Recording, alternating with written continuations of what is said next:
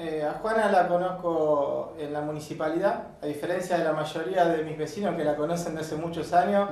Yo la conocí hace unos meses, eh, cuando ella llevaba un reclamo de, mucho tiempo eh, hacia los bloques. La escuché charlando de, pie en un pasillo con el bloque oficialista.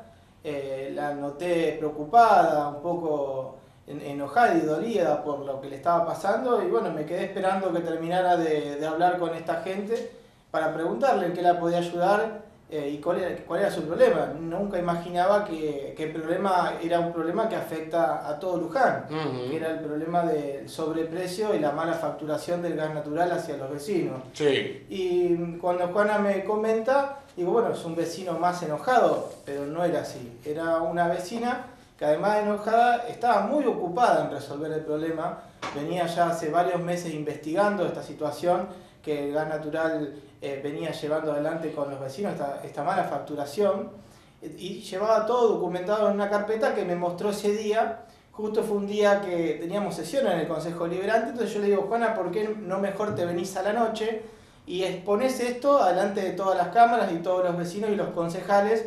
Porque es muy importante, ¿no? Estamos hablando de una jubilada que muchas veces pagar el gas, en este caso, ella lo va a detallar muchísimo mejor que yo, se hace muy difícil. Eh, hubo amenazas en el medio de parte de gas natural de cortarle el suministro. Y por eso yo dije que mejor que darle a esto un tratamiento en el Consejo Liberante y que la población en general sepa lo que está pasando. Porque... Yo me fui de viaje por un mes a a otra provincia donde vive un hijo mío. A pasar las fiestas. Resulta que la casa quedó completamente vacía, no, no, no, yo vivo sola, soy viuda, y la cerré, nadie entró durante ese mes, y cuando me llega la factura del gas, me llega con bastante precio elevado y yo no había consumido esa cantidad de, metros cúbicos. Y además este, aparece el, eh, en, la factura un impuesto sobre el transporte del gas me, llamó mucho la atención porque me cobraban más de transporte que de lo que yo consumía de gas.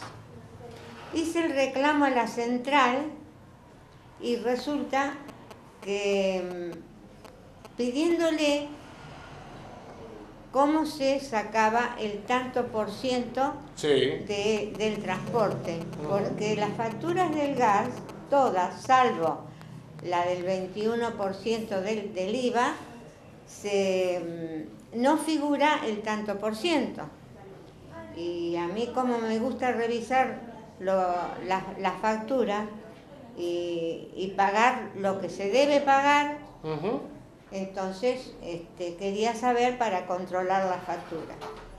Y no, me contestaron como a los meses, varios meses después, diciéndome que yo tenía en mal estado los aparatos, que posiblemente había pérdida de gas. No tuve suerte. Bueno, y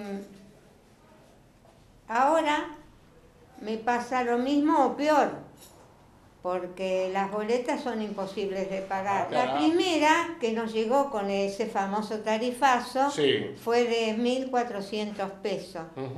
Y después la segunda este, fue de, de 2.700. Ahí me llevaron todo lo que, todo mi, mi haber como pensionada. Ahora, yo tengo mi jubilación propia porque fui docente. Sí. Y menos mal, porque si no me hubiera muerto de hambre.